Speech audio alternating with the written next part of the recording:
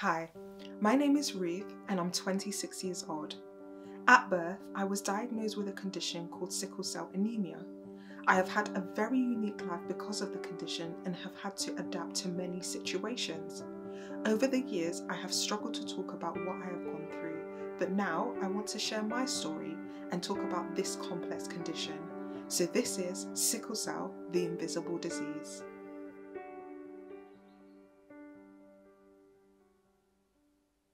I just remember the first pain episode I had was so painful and I know that my um, parents would be able to recall it a lot better than I would but I just remember having such severe pains and according to them the pain was actually in my legs and what I remember of the situation is being taken to hospital and just being in this really weird place. Obviously, I wouldn't have really known hospitals like that until that situation, and just being in that environment and thinking, I'm in such a weird place right now. What is this? I think they gave me medication because after that, everything just went kind of loopy. It must have been morphine, but I just remember that was like my first time really knowing that I maybe had something wrong with me.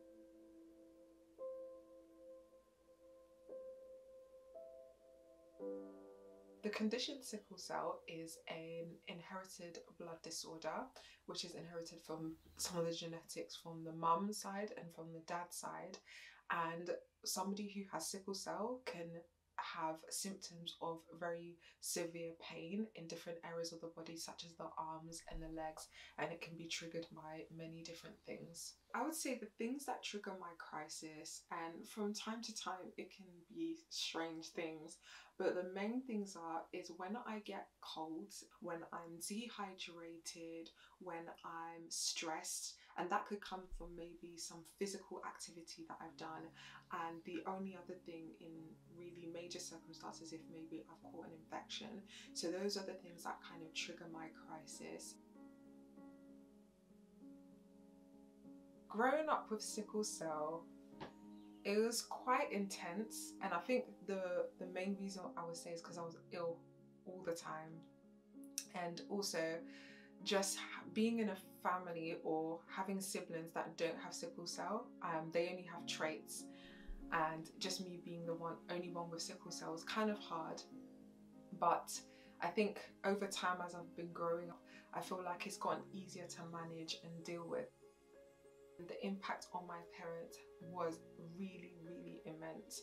I know that they they are strong and they also showed me that they're they're strong but i know that it was quite heartbreaking we're family of faith as well so a lot of the time we'll pray together and things like that but for them i knew that it was quite hard for them there was one point that i remember just being in the ambulance and they were picking me up from the house and they were driving me to another hospital in London. All my siblings and my dad, um, me and my mum were in the ambulance and they were just waving us goodbye and I could genuinely see him tearing up. That was the first time that I think I had seen him like proper emotional. So I knew that it, deep down it like affected them quite a lot but because they have to be parents they just do what they have to do um, and sometimes I just hope that you know the amount of care and things like that they give me that they don't kind of resent me for it or feel like I kind of stopped like their plan or purpose in life. Over the past few years, sickle cell has been making headlines. Sickle cell disease is the most common and fastest growing genetic blood disorder in the UK. One thing about um, sickle cell, it affects the mobility the most and they can't walk very far, they can't do too much. I also hope that the Minister will touch on what steps the government will be taking to specifically improve the treatment of, of, of black sickle cell patients because unfortunately NHS is delighted to be able to make um, the first drug, this revolutionary drug in 20 years. The coverage years. has been impactful and has shed some light on both positive and negative news. From the tragic death of Nathan Smith in 2019, the release of the 2021 No One's Listening report, and news of the newest SC treatment after 20 years called crizanlizumab. This presents an opportunity to discuss controversy surrounding the possible stigma, healthcare discrepancies, and the overall support for the SC community. One person who can shed some light on the condition and the current state of affairs is my sickle cell nurse, Maureen Scarlett. She has worked over 18 years for the Sickle Cell and Thalassemia Clinic in Luton and Dunstable Hospital. She has supported an incredible amount of patients and has extended that support to family and friends too.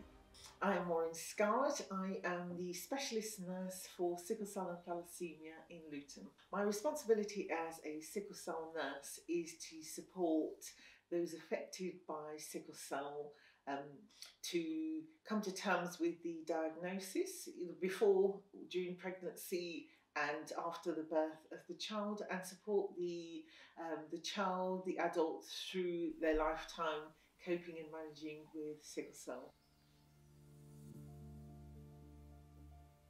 So, what, what is sickle cell?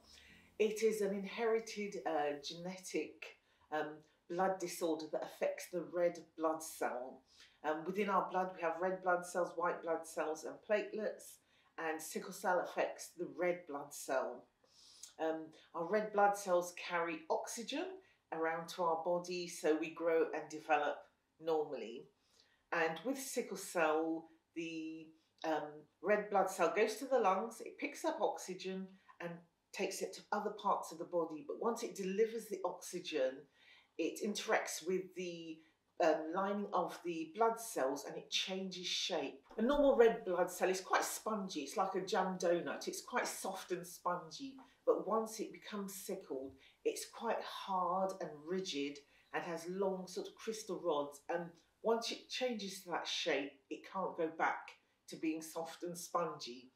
So what you then find, it sticks to the, the lining of the blood vessel walls and they start to back up against each other and that blocks the actual um, blood vessel. And the problem occurs not because of the blockage, but the fact that it's cutting off blood and oxygen to the bit of tissue behind it. And that's what causes what they call the sickle crisis. There's still very much a stigma around um, sickle cell. Um, even today, um, I have patients who haven't told their GP they have sickle cell or um, they haven't told their community back home in Nigeria, Ghana, that their child has sickle cell, that's been diagnosed with sickle cell here in the UK. They haven't told um, their family because they still feel um, they'll be stigmatised if they go back home. Um, I had a family recently um, had come over and um, mother hadn't told the child that she has sickle cell because it was still actually a stigma um, for, for her to accept and she thought that her child would be treated differently um, if she knew she had sickle cell or the care that she would get here if they knew she had sickle cell. And I had to educate her and say, no, over here, we want to, to know your child has sickle cell so we can provide the appropriate care and support for your child at home and in school and in the hospital. Um, but the child also needs to know they have sickle cell, that if they get a pain or something's wrong, they know to actually let somebody know. So there still is that stigma. This is Maya Bloomberg, a haematology nurse practitioner from the USA. We connected online after I came across her page educating people on the condition. As I look deeper into the subject, I wanted to know if the same issues or challenges are prevalent in other parts of the world. Hi Maya, how are you doing? I'm great, thank you. How are you doing? I'm doing really, really well. It's so lovely to have you on board and to be a part of this discussion. I feel like you're going to give great insight and also also help us understand a bit more about the condition.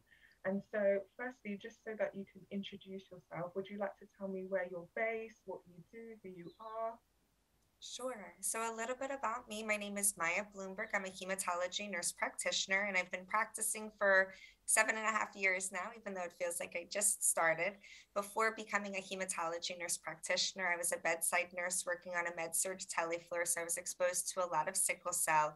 And then for almost eight years now, I've been a hematology nurse practitioner specializing in sickle cell, bleeding disorder, and clotting disorders. And I'm based out of Miami, Florida. Do you still think there is a stigma surrounding the condition um, in general society, in healthcare? What's your opinion on that?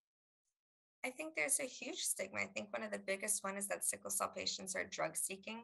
When it comes to sickle cell pain, we know the pain is extremely severe where narcotics and opioids really are necessary to treat the pain. And when you think about sickle cell specifically, there's such a major psychological burden where you could be completely fine out with your friends, having a great time, and then out of nowhere be hunched over and unable to walk and in pain.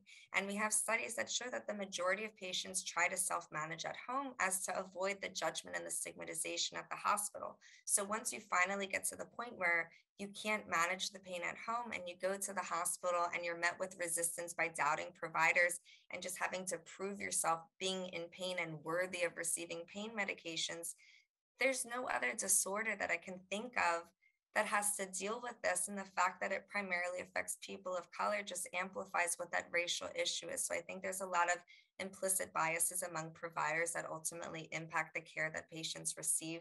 So I do think there still is the stigmatization just from the drug seeking standpoint.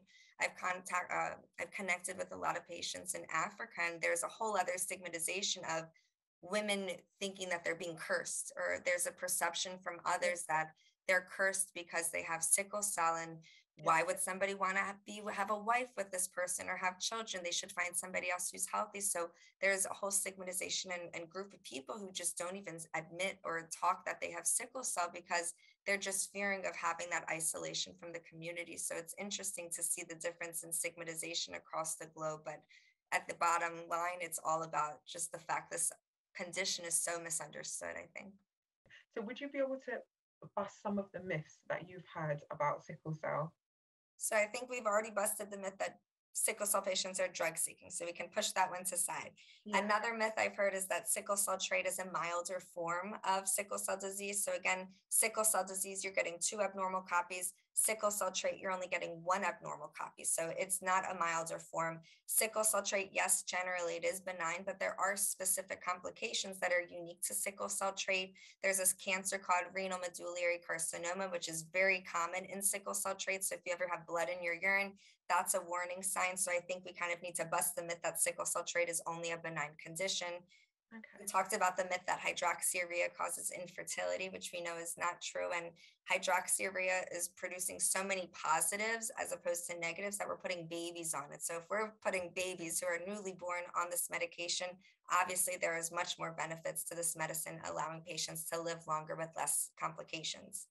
It is not only a Black person's disease. Yes, it is most common among people of color, but I have patients with blonde hair, blue eyes. Uh, there's around 40,000 people of sickle cell in Europe.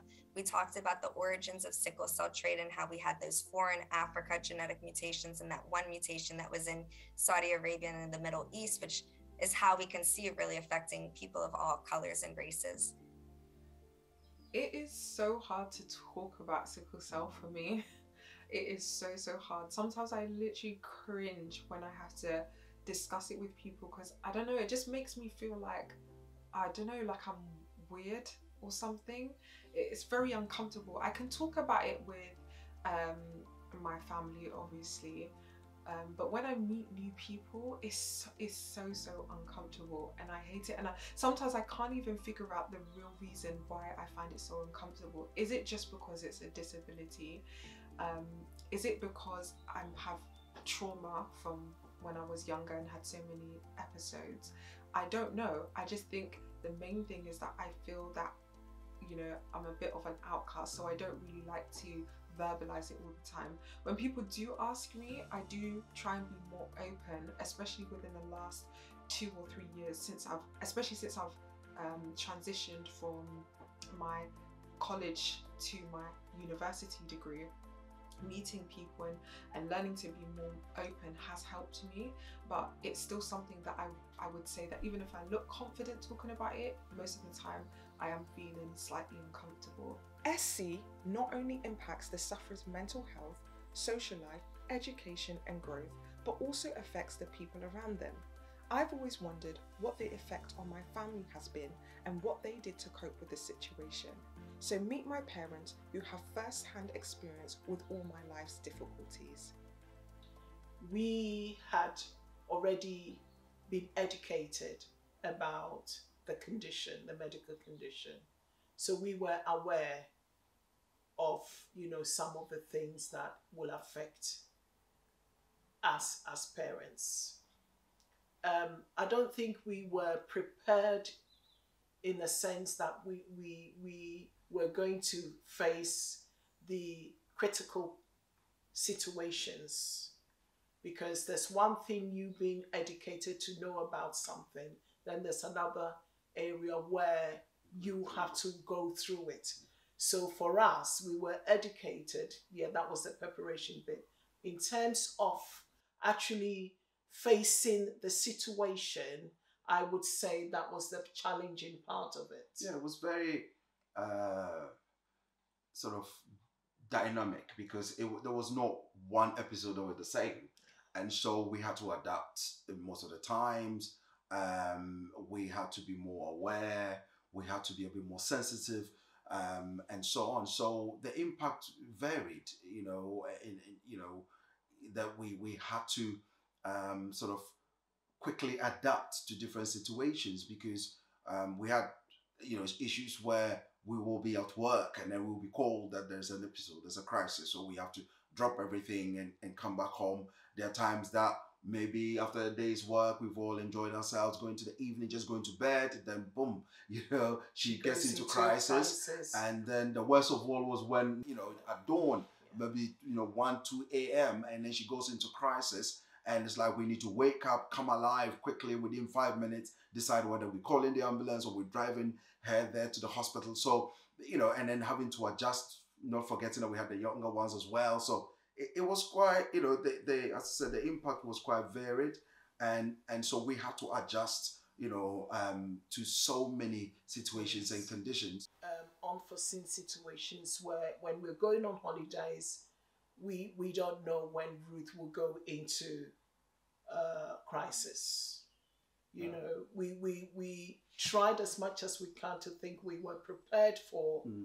the um, uncertainty um, but then it was one of those random things that could happen. And we'll be on holidays or when we're preparing to go on holidays, Ruth was always a priority because we needed to make sure that we had her medications. Mm-hmm. You know, she's not exposed to cold. And even with that, it wasn't guaranteed that um, she was not going to go into crisis. Yeah, I mean, we, we, we knew we could not stop, you know, the, the outcome of any any situation.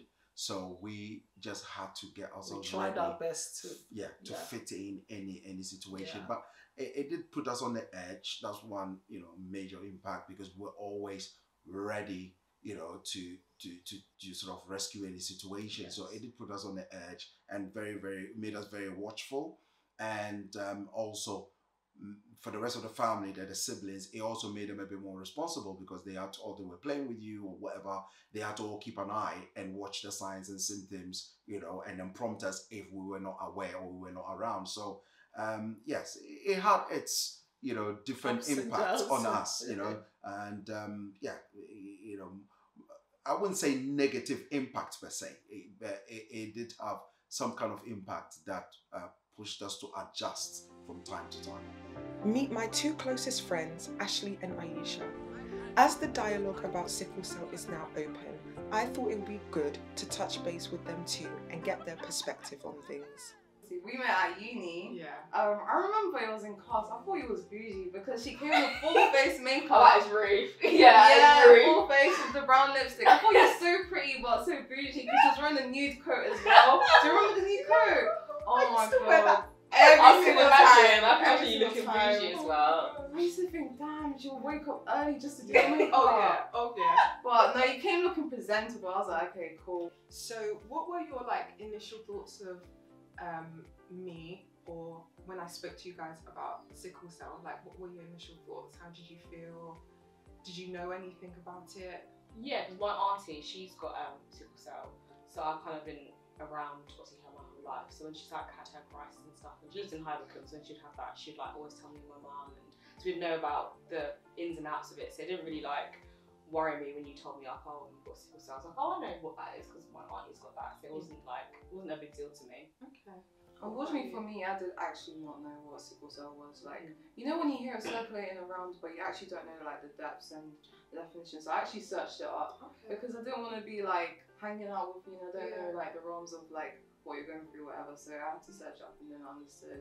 And even still like hanging out with you and stuff, then I understand like sometimes it's cold you know, I have to remember to take a scarf and stuff Yeah. like that. So You know, that's like my biggest concern, making friends, because I never used to have them when I was younger, when I was in high school. No mm. friends at Oh, all. that's mad. Nobody could like adapt to my my situation. They didn't understand why randomly I could get ill. You know, they didn't understand the pain episodes. And um, I, at the time, because I was so shy, I couldn't express to them what was really going on, and so it was hard for me to talk about. And if you did know, fine, but it's not something that I wanted to like Yeah, actively talk about.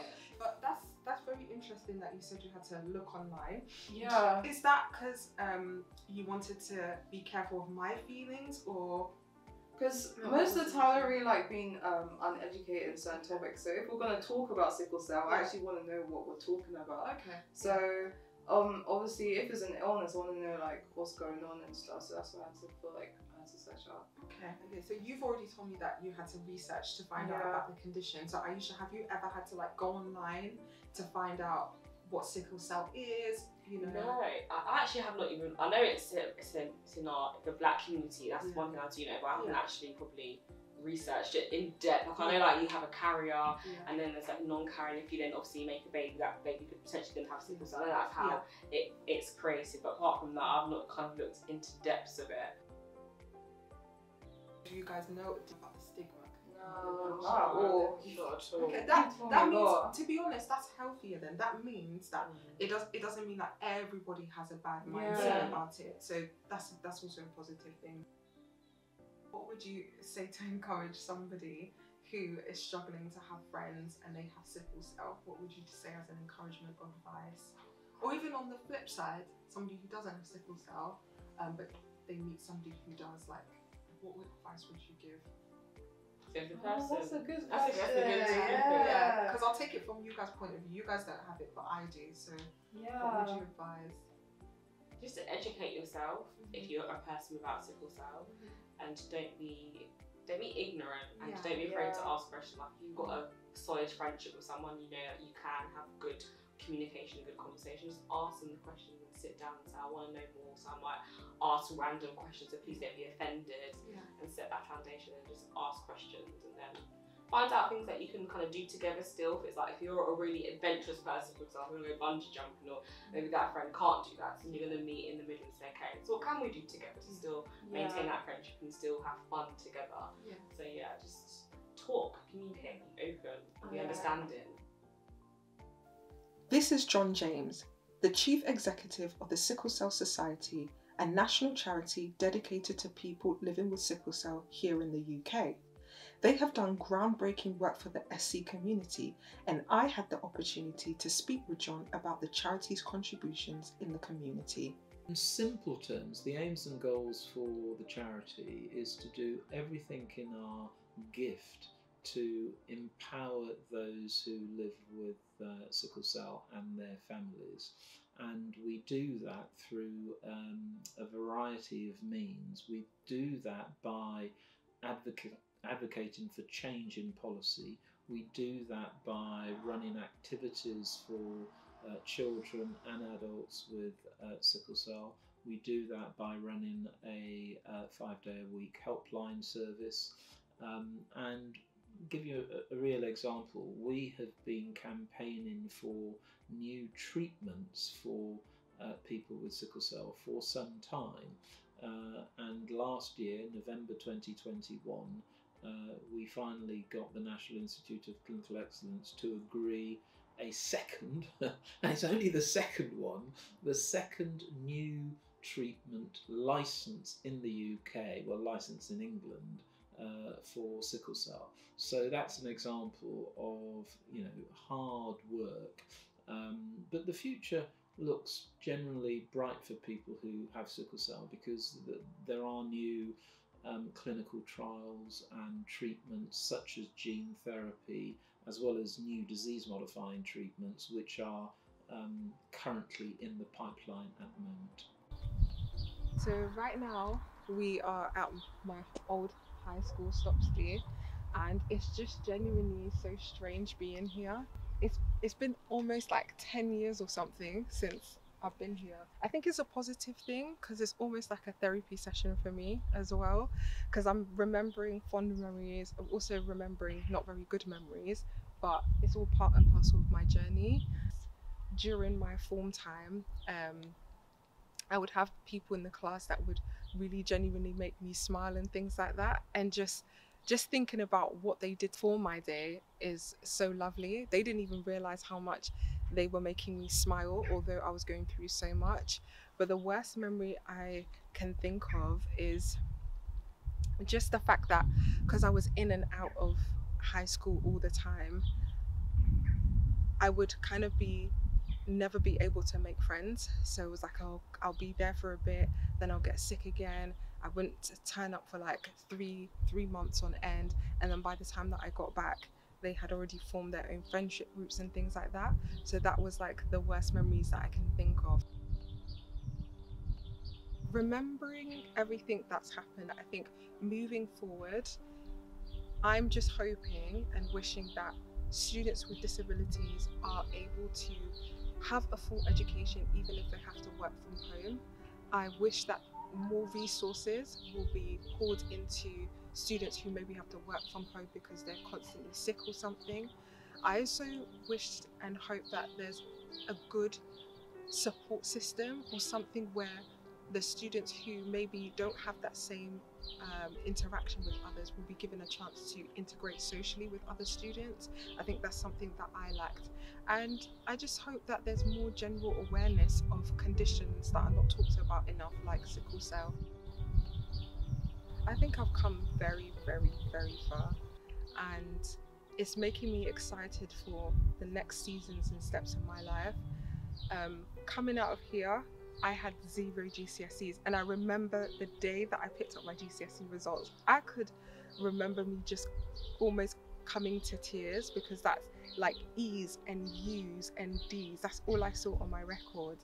And going from that to then being able to finish my HNC course in college and then went on to do my bachelor's in university and then now just being on my master's course um, is incredible and that just tells me that there is nothing that people can't overcome.